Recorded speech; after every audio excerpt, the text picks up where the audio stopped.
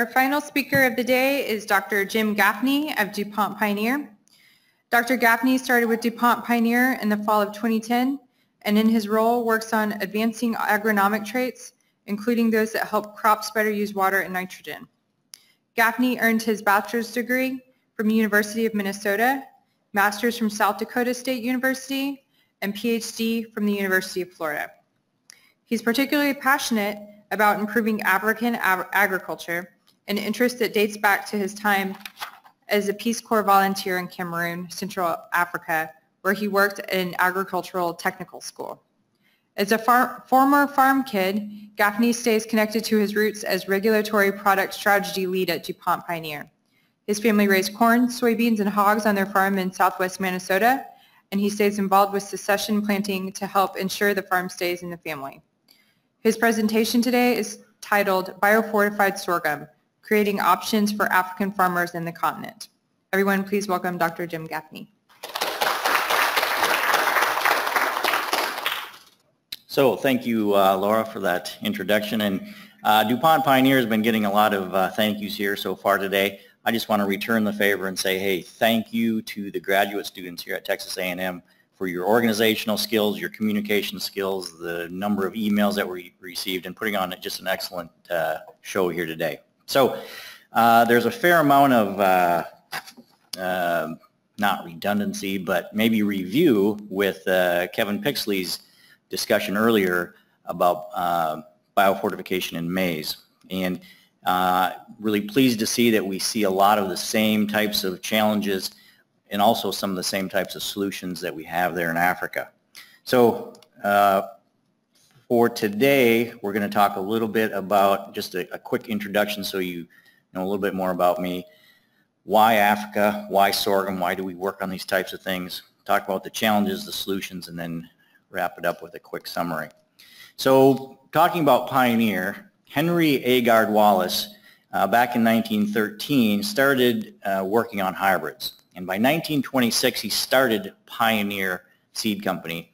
And so this year will be 90 years of Pioneer Seed Company. Um, this little memo here from 1930, I, I, I, always find this humorous. This is in our little museum there back in Johnston. And uh, he typed this out in his notes and then he made some corrections with longhand. Uh, and you know what it says? The best combinations of inbred strains have the ability to outyield the best open pollinated varieties of corn of the same maturity by at least 10%. Okay, so he was really shooting shooting high there with this 10%. He said, well, some people might quibble, might be a little less, might be a little more. Uh, as we know today, uh, hybrid maize has really taken off, and uh, done quite a bit better than 10%. Um, but in the early years, he had a really difficult time explaining to farmers why a hybrid was better. They didn't really see the value, and he was charging more for it. There's no doubt about it. They stuck with their open pollinated varieties until 1934 and 36 when we had some pretty widespread drought. During this period of time, those hybrids that Henry Wallace was promoting out yielded the open pollinated varieties on the matter of 1.5 to 2x to 3x in some cases. At that point on, the hybrids really took off. Uh, and Henry Wallace had a very interesting career. He went on to be Secretary of Agriculture and Vice President under Franklin Delano, Delano, Roosevelt.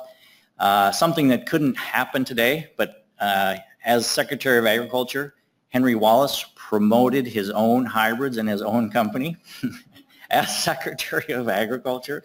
And you know, if you read about him and his history, it wasn't necessarily because he was just wanted his company to be successful. He was he was a competitive guy though. He just truly believed that hybrids were the future, and he he was passionate about it. Uh, he was an he, practically an evangelist for hybrids. Uh, so that's a little bit of the history and uh, we went on then to devote a lot of attention to drought and stress breeding, uh, starting there in 1957 with a drought breeding station in York. Um, and we've done a lot of work in this area since then. Uh, so a little bit about me. Uh, as mentioned, uh, University of Minnesota for my undergrad, South Dakota State University, and then University of Florida for my PhD.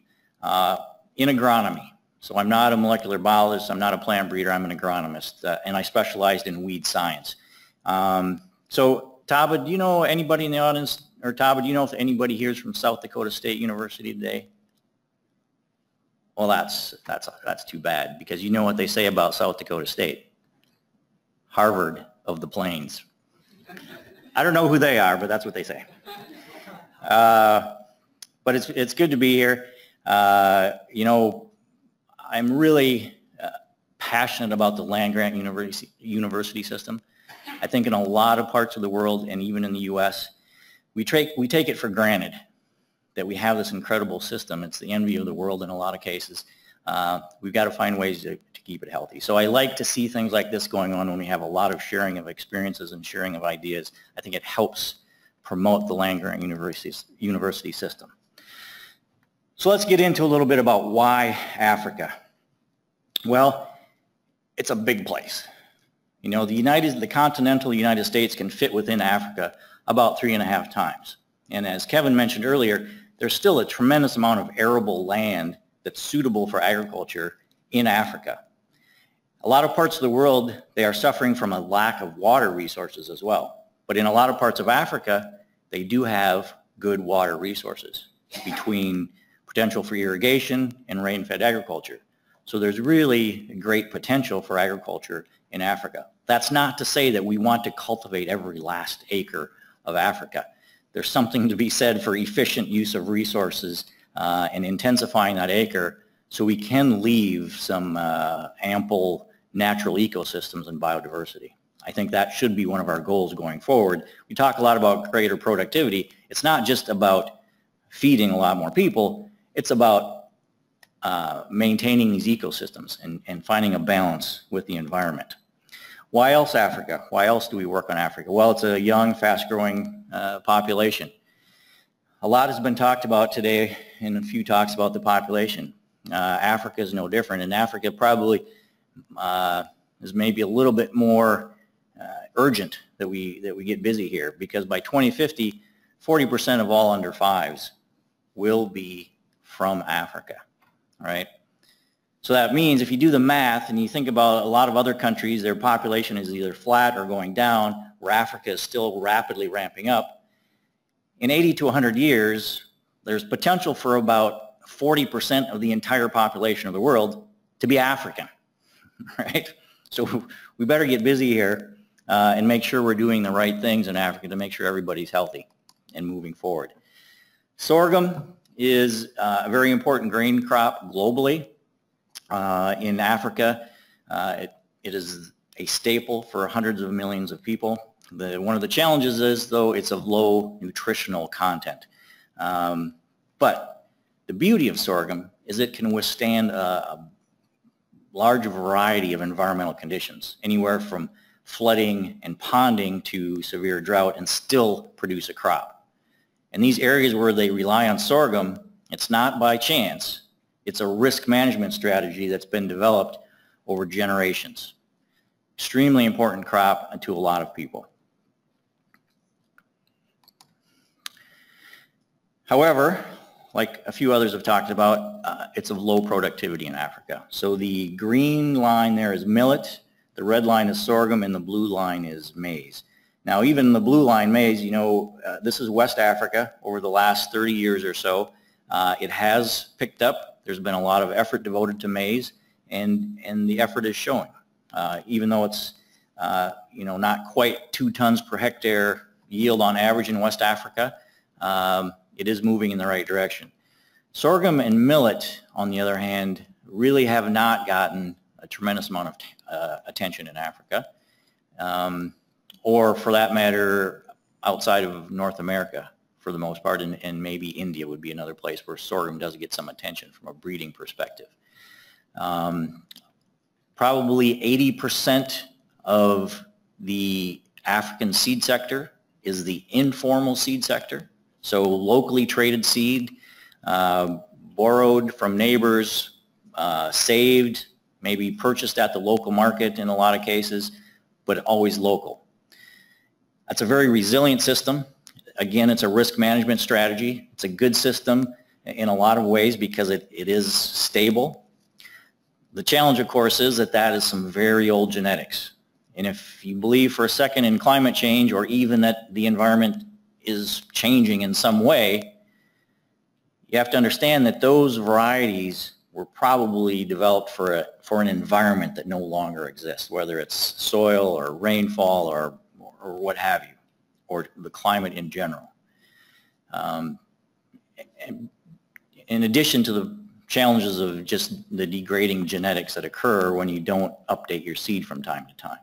So those are some of the things we have going on in Africa with sorghum and millet.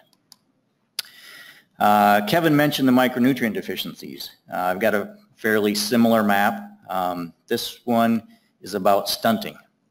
So you look at Africa and you can see that uh, there's some of the most severe stunting is going on in Africa. And the stunting many times is not just due to calorie deficiencies, because a lot of times there is there are enough calories. It's because of micronutrient deficiencies. Uh, vitamin A and zinc in this particular uh, publication were cited as two of the very worst that are still going on. The problem with micronutrient deficiencies is you don't see them. There aren't these dramatic symptoms until it's too late. Uh, but once these symptoms set in, it's irreversible. And, and it can lead to a lifetime of both uh, physical and mental stunting. Uh, socioeconomic status is generally lower, and earning power, good jobs, you know, moving a, a family up the prosperity ladder becomes even more challenging. So vitamin A and zinc are problems, but if you say that to someone that's worked on iron deficiency and anemia, they will say, hold up, iron and anemia are at least as bad as vitamin A and zinc. Uh, if you look at, these are different uh, areas of uh, Africa, East Africa, North, South, West, uh, really the lines are flat over the last 30 years. We're not keeping up with the Millennium Development Goals, as Kevin mentioned. Uh, we're making very little improvement in some of these areas. Um, so again, these are the types of things that, that contribute to a lot of problems that really, uh, it's extremely frustrating that we can't do something about this. And we are making progress in other parts of the world which makes it even more frustrating for why we can't do something in Africa. So I'm a glass half full kind of a guy. I think we can do something about it, um, and I think we should be doing something about it uh, more than we're doing today. So uh, back a few years ago, 2007, 2008 timeframe, uh, we, the Bill and Melinda Gates Foundation uh, came up with the concept of biofortification and they were not worried about whether it was through native traits or transgenic traits. And uh, a number of projects were started in maize, uh, beans, sorghum, sweet potato, cassava, and golden rice was probably the, the poster child for biofortification. With, trans, with sorghum, we're working with transgenic traits, and I'll explain a little bit more why we're doing transgenic traits in sorghum. Um, so the, the Bill and Melinda Gates uh, Foundation has been the major contributor to this effort. Uh, we're probably second through in-kind contributions, labor, time, uh, you name it. Uh, we've put a fair amount into it. And of course, for any of these projects to be successful, you need strong African leadership. And we have received that from national research, research programs in both Nigeria and Kenya, and Africa Harvest, which is a uh, uh, NGO, non-governmental organization based in Nairobi. So the leadership that we've received from, Kent, from uh, the African countries has been tremendous and it's helped us get where we are today. And that's still the main contributors are our, our African partners. So what we aim to do with biofortified sorghum was increase the beta carotene level or vitamin A, uh, increase the iron and zinc availability, improve the regulatory framework in Africa and build that infrastructure in a number of different ways through capacity buildings. And, and because this is a these are transgenic traits, of course, you need to have a regulatory infrastructure in place. Um, we also work very hard on sorghum breeding and transformation and seed systems. and also training and creating awareness and educating and, and trying to build that part of the effort as well. One thing about iron and zinc in sorghum. Sorghum actually contains fairly high levels of iron and zinc in some, some backgrounds, and you can do native breeding for that. The problem is there's a molecule called phytate within the sorghum, which makes that iron and zinc practically unavailable except at low levels. So while we don't worry too much about increasing the levels, although we can do that too, it's more about making them more available to the human digestive system. So these are, over on that, that far left column, these are the genes that we're working with. So uh, the CRIT-I and the PSY1 genes, those are the very same genes that uh, golden rice is using to increase beta carotene in rice. We've also been looking at CRIT-B uh, as, a, as another gene that improves the beta carotene levels. HGGT uh, is from uh, barley, um, and it is uh, it stabilizes the beta carotene. We'll get into that in just a second. The two rice genes there are about iron and zinc uptake and accumulation in the grain, uh, which we've demonstrated we can do. And then the PhyA gene is for the phytate breakdown.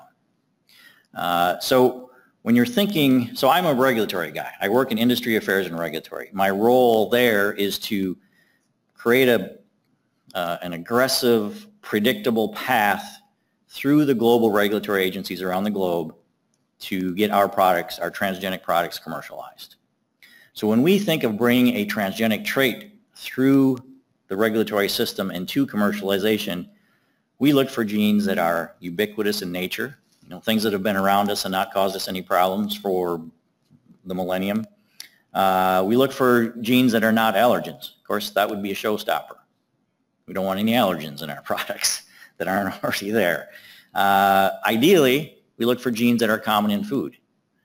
Uh, so uh, we then, if you can meet these criteria, we can have something that's called uh, history of safe use standard or even better than that, uh, something called uh, generally regarded as safe. Regulatory agencies like these things, all right? So with the genes that we're looking at, we are very confident that we can prove history of safe use and generally regarded as safe. So some real positives here with these genes. Now, going back to beta carotene here for a minute, now, the, the problem with sorghum is there's almost no, very it's very low levels of beta carotene to almost zero, and there's almost no variability. So breeding for it is practically impossible with native traits. There just isn't anything there. Uh, what we've been able to do with different combinations of the PSY1, the CRIT-I, and the CRIT-B gene is increase that beta carotene level from, from practically zero to the 50 to 70 micrograms per gram level. So that's, that's pretty attractive to us. We think that can make a difference right there uh, with that. Now I did notice uh, the other Kevin's talked to this morning with his, his uh, muskmelon. He was at 350 micrograms per gram of beta carotene. Now that's vitamin A. Uh, I noticed that right away because I think about this a lot. Uh, we need to get more you know, muskmelon in Burkina Faso, I guess. Uh, so the other challenge with beta carotene that's fairly known is that it breaks down rather quickly. Uh, and we did a study where, you know, we looked at the control, we looked at uh, beta carotene in normal air and then beta carotene in ox oxygen. And when you concentrate the oxygen, it breaks down even faster. So obviously that's the challenge is the oxygen. So with our event 198, pretty high beta carotene levels, but no HGGT in it, the half-life is less than four weeks of that beta carotene. When we include the HGGT molecule, or molecule gene, it protects that beta carotene, and the half-life goes up to about 10 weeks. So that's, that as well is very significant. You have a higher level of beta carotene, and it breaks down much slower, meaning you can provide beta carotene at a reasonable level for a much longer period of time after harvest when that, when that sorghum is in storage. And the, the issue there is you know, the oxidation is the problem. The HGGT produces the vitamin E, the tocotrienols, which protect that beta carotene from the oxygen. So that was also another breakthrough. Another thing that we did was look at the bioconversion of beta carotene to vitamin A. And because we can't do this in humans yet, we use the Mongolian gerbil. Oddly enough, the Mongolian gerbil seems to have a uh, digestive system for beta carotene and is very similar to humans. This is this is well documented. Like so, like Kevin, you get into this stuff, and you you know, being an agronomist, this isn't my area, but the literature is fascinating. And you talk to more people, you talk to these nutrition experts. It's an it's an incredible area of study, uh, and and we're learning a ton as we go along here. Uh, but it's always good to have the experts uh, on speed dial to talk these things through. So if you look at the, the red line there is our bio, biofortified sorghum. The beta carotene conversion in these gerbils is 4.3 to 1. So that's on par with the other grains, including maize, golden rice. Um, the only thing better than the grains would be something like liver. That's a one-to-one. So if you, it's one-to-one beta carotene, beta carotene to vitamin A. Any beta carotene that's in liver is directly useful to the human digestive system. Uh, the green leafy vegetables, the fruits and vegetables, are not nearly as bioconvertible, I guess you'd call it, as the grains. So this is one area where I'll bring up the dietary diversity issue. One of the big criticisms, criticisms we receive is that our goal should not be this crazy uh, biofortification effort. It should be about dietary diversity. Dietary diversity is the number one goal, no doubt about it. But in a lot of these areas, there just is not enough diversity available today to meet the demands of these micronutrients. There's just no way around it. Americans get a tremendous amount of our micronutrients from meat, dairy, and eggs. Again, not available at any price in a lot of these Sahelian regions where they rely on sorghum.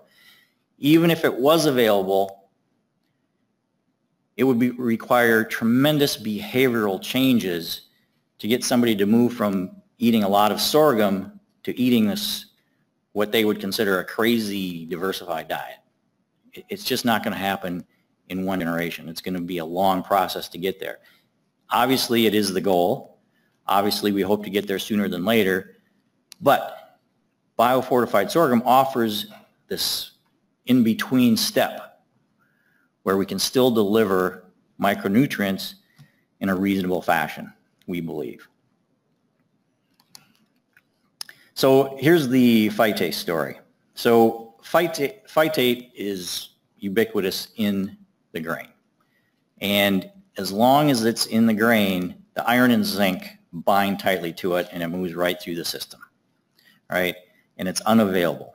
Now what we found was if you uh, are not careful, uh, you can also reduce germination of your sorghum if you, if you reduce phytate. Okay, so of course that's a non-starter as well. Uh, but what we found is through a normal preparation process that iron and zinc can be made available uh, to the human digestive system. So a 90% phytate reduction resulting in greater iron and zinc availability is what we found. One thing else I should mention here, we've worked very hard with sorghum, our, our research team has, uh, on the transformation and trait integration process. And we found that we can go directly into some of these uh, African varieties. Uh, and this really hasn't been done a lot in sorghum. Transformation using transgenic traits uh, really uh, is not going on in too many labs today. Uh, but we've had some pretty good success there as well. So what does this mean through the beta carotene, the bioconversion, the stabilization of beta carotene, and the phytate reduction, making the iron and zinc more available? We believe that during periods of time after harvest, we can provide from 50 to 100% of beta carotene needs uh, and 80% of the estimated average requirement of iron and zinc just through normal consumption of sorghum. And this is 100 grams per day of sorghum. And you think, well, that sounds like a lot of sorghum. Uh, but if you are relying on sorghum for your main source of calories, 100 grams is, is not a lot. Th- there's plenty of literature available that demonstrates even up to 400 grams per day of grain is some, consumed by adults. So that's not out of the question in any, in any, by any stretch. The other part of what we're working on is seed systems, improving the seed systems in Africa. I mentioned that about 80% of the seed systems today in Africa are of the informal sector. Again, that's important and that's, and that's resilient, but it's resilient at a fairly low level of, of economic, socioeconomic levels, okay? And when we think of a seed system at DuPont Pioneer, we start with the research and breeder seed, of course, but it flows all the way down to the end user needs and consistent supply. Uh, farmer access and scale is also extremely important to us. I think a lot of times uh, from a research perspective, we think about the top of that seed system, the research part of it. I would challenge you to think about the other parts of the seed system. Uh, back in just this past October, we had a meeting in Montpellier, France with uh, a number of participants from uh, all over the place, including donors. Uh, the CG system was representative. And we agreed that we were going to focus on seed systems, agronomy, product development, and market and value chains a big part of the, the challenge in Africa is access by that farmer to inputs and access to the output market so he can sell his excess grain. Uh, and that's part of what we intend to work on with this partnership that we're, we're trying to get moving a little bit here. Uh, that, was a, that was an exciting meeting in a lot of ways. We had a lot of people sitting around the room kind of looking at each other saying, you know, what the heck are we doing here? Uh, uh it was a little bit anxious at times, but by the end of the meeting, we really had some common ground with a lot of diverse groups, and we hope to really make a business out of this. So back to the regulatory piece again. So transgenic traits require regulatory infrastructure, regulatory rules uh, to be able to move a product through. Now the green represents countries that have full-fledged regulatory uh, bodies that can move a product through the system. Uh, Burkina Faso has gone through with uh, um, BT cotton. They're working on BT uh, cowpea, I believe. South Africa, of course, has a number of different transgenic traits already uh, commercialized. Uh, Kenya just last week got approval uh, for BT maize, for cultivation approval. Now that's not saying it's commercialized yet, but it's a huge step. Uh, and in the regulatory world, that you know gets us pretty excited that Kenya is moving forward. And we think Kenya is going to be one of those anchor countries that are going to pull a lot of other countries along with them. So we're pretty excited about uh, the future of transgenic traits in Africa. So agricultural development at Pioneer. I, I, now and then I get asked questions of why we're working on these things. Um, when in fact there's really nothing directly beneficial to DuPont Pioneer? Well, certainly we're a multinational seed company and we're profit driven. There's no doubt about that. And we don't apologize for that. That's the basis for capitalism and multinational seed companies. That's, that's what we do. Uh, however, I think DuPont Pioneer is filled with a lot of ethical and moral, caring people. So that's another reason why we believe we need to work on these things. If we have technology available, let's apply it where it's needed. But there are also a number of other reasons. You know, the professionalism that we believe we can develop uh, with seed system and agriculture in general uh, is a big benefit to everyone, including us, long term from our, for our profit-driven needs. Uh, there's greater prosperity that we believe we can contribute. There's a long history of uh, ripple effects when improved agriculture is introduced in the form of hybrids, fertilizer, and better production systems. And the ripple effects uh, create, put more food on the table, put a tin roof on your house, get your kids to school, and then you can start worrying about other things. So incredibly important there. Uh, technology, you know, we've got a tremendous amount of technology at DuPont Pioneer that we're using in different ways. Uh, that we think can be applied in other ways that we're not using yet. So that's another reason we work on these things. Resources. So we look at this micronutrient deficiency challenge in Africa as a, as a huge problem. We can't do that on our own. So how can we collaborate, gather our resources with others, and really make something happen? So another, another issue there is resourcing, doing things that we would not be able to do on our own. And finally, trust. Uh, you know, we believe we're doing the right things around the world for seed production and productivity uh, and efficient use of inputs, but there is a tremendous amount of distrust of multinational seed companies. Uh, you know, some people believe we're trying to control the world's food supplies in different ways. Um, highly doubt we could do that even if we wanted to. Uh, but if in some small way, through these development efforts, we can create just a little bit more trust and familiarity with what we're trying to accomplish, that's a, that's a big positive for us. So those are a, a lot of the reasons why we get involved. And I'm just pleased and, and proud to be part of a company uh, where our leadership sees the importance and has a vision and, and is willing to commit to these long-term challenging product, problems. Uh, so back to you guys. How does this relate to you guys? Well, uh, thinking of career options and opportunities, it's a big world out there. There's a tremendous amount of options and opportunities that you guys have. You know, I was looking at the uh, the the uh, screen roll through of people's uh, dream jobs, and a lot of you have very specific dream jobs already lined up for yourselves of what you want to do. Um, I would, at, at this point in your careers, I would keep an open mind. There's a tremendous amount of things available out there. I know, you know, before I joined Pioneer, uh, I was with a competitor company in Raleigh, North Carolina, and uh, my eventual hiring manager called me one day and he says, so Jim, have you ever considered a career in regulatory? In my head, I was thinking, not just no, but heck no. Not my deal, right?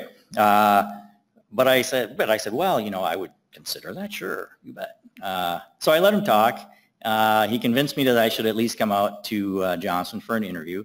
Uh, and the more I talked to people, the more I, I met people, the more I realized that this could be a very exciting career move for me. Uh, so something that I had never really thought about before in my life all of a sudden became my passion, uh, and it still is. Um, skill sets for you to think about. I think communication is probably one of the most important things we all need to, to work on. Even if you're a great communicator today, communicator today, you can get better. Uh, oral presentations uh, are hugely important. Your speaking skills, writing skills. Uh, don't be afraid to get that first draft down and get it to your major professor so he can tear it up and get it back to you. I know that's a painful process, but it's a hugely helpful process to learn to write effectively.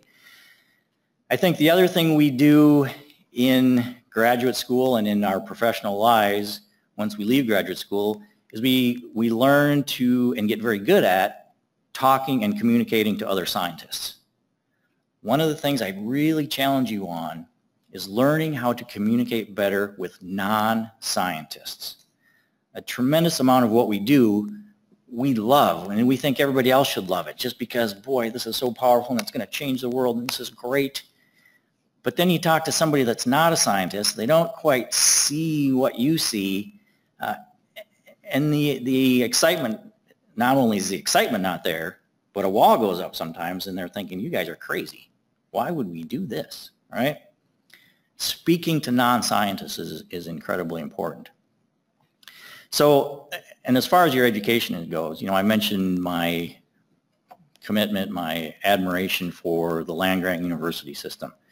Uh, you know, once you get that graduate degree, the world is your oyster. There's so many different things you can do. So, you know, take that degree seriously. Take your school seriously. Take your job seriously. But maybe don't take yourselves quite as seriously. And just let your curiosity take you down the road. So, in summary, these micronutrient deficiencies uh, in Africa are a persistent problem, and persistent doesn't cut it. It's they're just entrenched problems, immovable problems in some of these countries, and the and the problem is it's affecting some of the poorest countries in Africa. I think of Burkina Faso as one of the it was one of these examples. It's these guys are trying so hard. You know, I've been there. I've talked to the breeders. I've met the minister of agriculture, and they're just pleading, saying, you know, come on, let's go. You know, bring us some technology. Let's get this thing moving. Um, so we need to do more than we're doing today. Um, the seed system development is absolutely critical.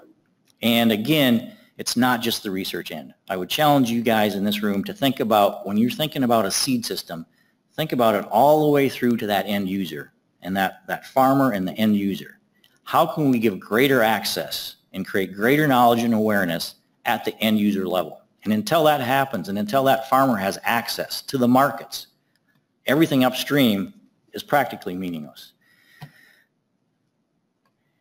In the next 100 years, there's going to be a huge number of people on this continent that are African. That can be really exciting as long as they're off to a good start. That first 1,000 days from conception to two years of age is absolutely critical to get people off to a good start. And again, in the U.S., you know, Europe, most of us in this room, I think we've taken this for granted. We just expect that we're going to have great nutrition from start to finish. All right? Our biggest problem is overconsumption, not deficiencies. All right? If we can make a difference, this next 80 years is going to be really exciting, not just for Africa, but everybody else that benefits from this big African population. Um, so your role, you know, again, I can't stress enough, you know, you guys are lucky. You're, you're in this great educational system. Just the fact that you're here, I would guess that you probably had some nurturing along the line somewhere, whether it was your parents or a teacher or somebody that pushed you to achieve and maybe achieve a little bit more. Uh, you know, you've been taught that hard work pays. Otherwise, there's no way in heck that you'd be in graduate school. you don't do that just for fun. Um, and I would guess you're probably uh, at least average to above average intelligence just a, just a hunch. So in a lot of ways, you're, you're privileged. If you travel the world, you're the envy of the world in a lot of countries, in a lot of regions, all right? So with that privilege,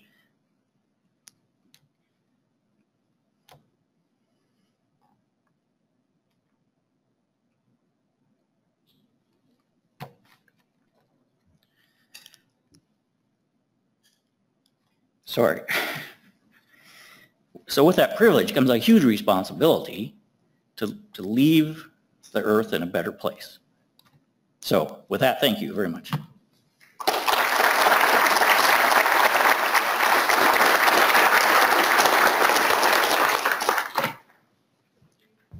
So Thank any you. questions? Yeah. Sorry, I questions. Not sure, I don't, not, not sure why I got emotional there at the end.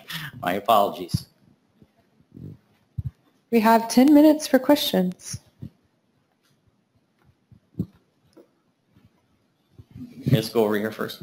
Hi, what do you think is the biggest impediment to getting this technology to other nations? Is it uh, government officials getting in the way or lack of funding or resistance by farmers? So it's not resistance by farmers. Farmers the world over have demonstrated that when they see a technology and it works for them, and it's demonstrated that it works, they'll jump on it and they'll use it.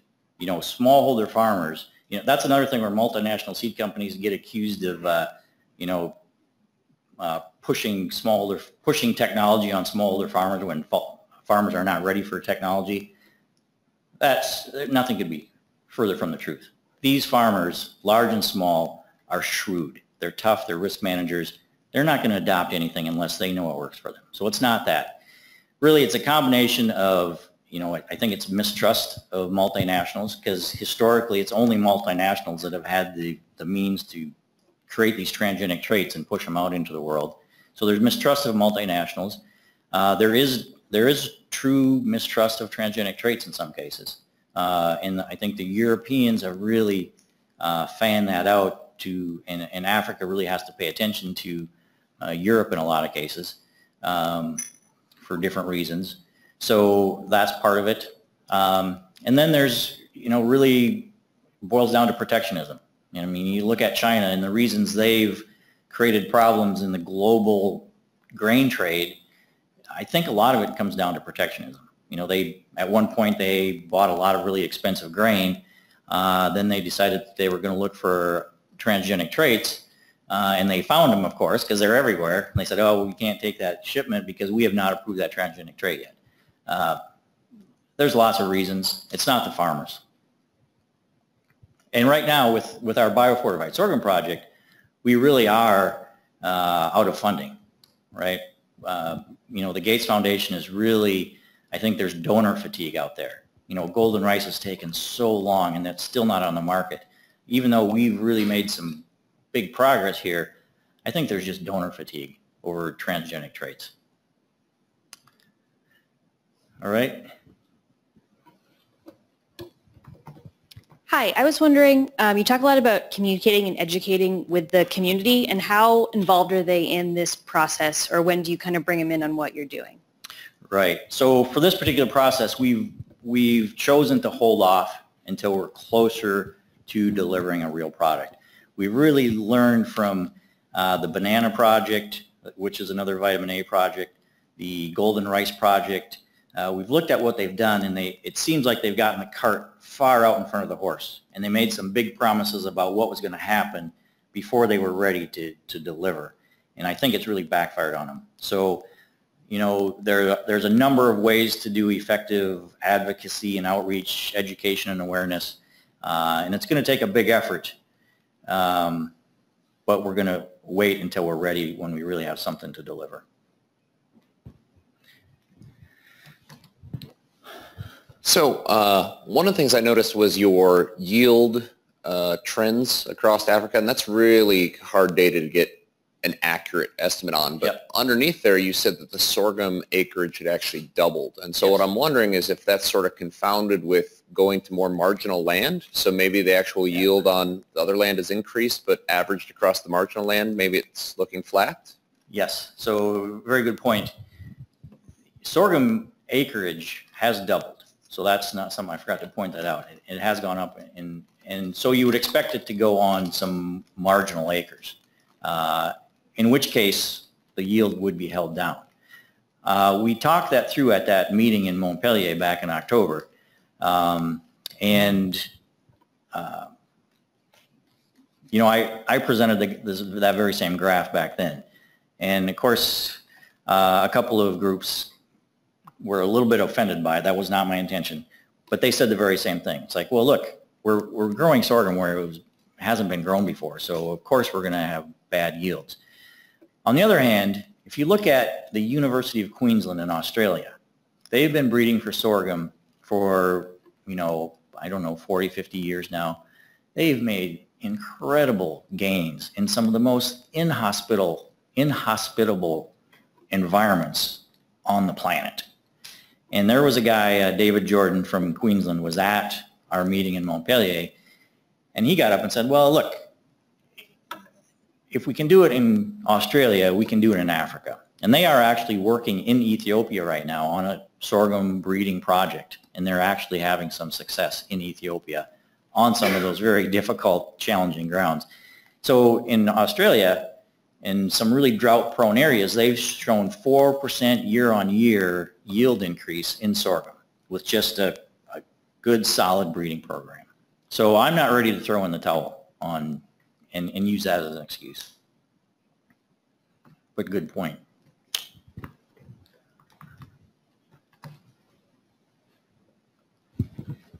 Jim, it's a great presentation. Uh, I have two questions. One is uh, when you're trying to do this implementation of the biofortified sorghum project, do you consider the shortcomings of the, the rice project and the even the, the sweet potato?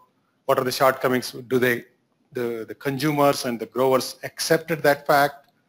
And also the second question is when you're trying to implement the hybrid uh, uh, varieties into small farmer holdings in Africa particularly, do you think there is an economic issue that they don't, they're not ready to accept those kind of things? Yeah, so I'll- let me start with that question first, the hybrid and the seed system piece. So hybrids in Africa uh, definitely are challenging. For some of the smallest farmers there, some of the poorest, it's difficult for them to come up with that initial uh, cash outlay. Um, So we're not saying it has to be hybrids. When we say improving the seed system, we don't mean to say that, boy, we have to go directly to hybrids and we have to go there right now. Uh, I think what we're saying is we need to take some step changes to get to a point where farmers can afford hybrids and do appreciate hybrids. We do see it in maize in East Africa where some of the poorest farmers do come up with cash. They do, they can find a way to afford hybrids and then there's a history of them being much better off. So it's not something that's impossible, uh, but that seed system needs to be improved along the ways. There needs to be some stepwise changes. Now your, your other, the first question was about uh, sweet potato and rice and learning from, learning from those projects. When you're implementing the biofortified sorghum, are you taking into consideration of the, the, the shortcomings of those previous projects? Yeah, yeah, absolutely. Um, now the sweet potato, I don't see too many shortcomings there. I think they did a fantastic job. They really worked hard on the marketing end of things. Uh, the sweet potato thing, I think, is a success story. Uh, golden rice, you know, I think early on there was so much hype around golden rice, and then there was so much backlash about golden rice. That's what we're trying to avoid there. There definitely were some shortcomings about golden rice. Nothing to do with IRRI or their fault at all. Uh, it was just a circus. You know, it was a media circus in a lot of ways. So we are going to learn from that, we hope, and try to avoid that situation. We have time for one more question. Anybody has one?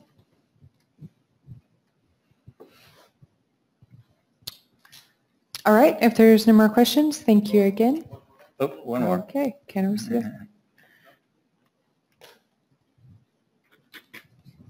Yeah, my um, just just to to add on to what the other professor talked about, um, golden rice and you know bananas and every other thing. Uh, it's, still really vague to me how biofortification of sorghum would be really, really, really different from the other uh, shortcomings that we've seen with uh, potatoes and all that, acceptability and all that. I'm not really, really sure whether there are new strategies that are going to be employed to really overcome such challenges. I don't know whether you have maybe some to um, maybe uh, just So- mention a few right now, maybe. Well, if you think about the other crops, whether it was maize or um, sweet potato, it was a it was a different color. There was something different about it. Um, with sorghum, we do see a slight color change, but in a lot of cases you can't tell a color change anyway because sorghums in general, there are red sorghums, there are white sorghums, there's in-between sorghums. So there's really not going to be that type of apprehension. Uh, there's really no behavioral change needed there. Uh, really what we believe is the, the most important thing, like was mentioned earlier today, is that if you get the biofortified sorghum into a good yielding variety, that's going to be half the battle. Farmers and consumers, these villagers, are not going to get all excited about vitamin A in their sorghum because they're not going to really be able to see dramatic changes in their health. You know, it's not a week to day to day or week to week thing. It's a lifetime thing. So you have to get them excited about other things uh, along the way. A good yielding, high quality, good milling, good porridge sorghum is what's going to win them over. And in that case, there's not going to be, you know, we don't believe there's going to be a big behavior change needed. There needs to be education and awareness around nutrition in general. So that's necessary, obviously. Does that help?